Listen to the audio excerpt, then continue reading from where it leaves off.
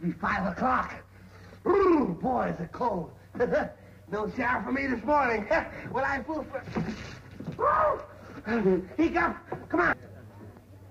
Did you give my message to Ernie? Yeah. Say there's some pretty good nags in this race. What did he say? Nothing. Look, there's Sunflower, High and Mighty, and What do Petrol. you mean, nothing? When's he coming over to see me? I don't know. Tomorrow or next day, maybe. And look here. High and Mighty's carrying only 106 pounds. High and mighty. Listen, low and puny. Are you holding something out on me? Well, is he, crumple puss? I don't know from nothing. Well, come on, what is it? Well, it's pretty hard to tell this to my own sister, but Ernie's got another love. Oh, he has, has he? Yeah, and I'll tell you all about it. I don't want to hear about her because I don't care. Okay, okay. What does she look like? Huh? Oh, oh, she's tall.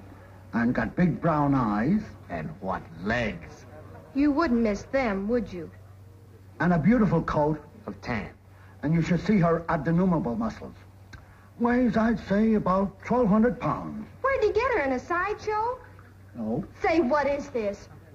A horse, honey, a horse. Oh, so that's it. While I'm taking care of his pigeons, you're making him play nursemaid to a horse.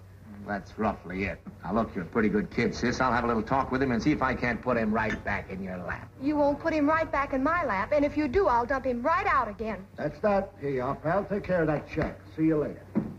Here's a dime.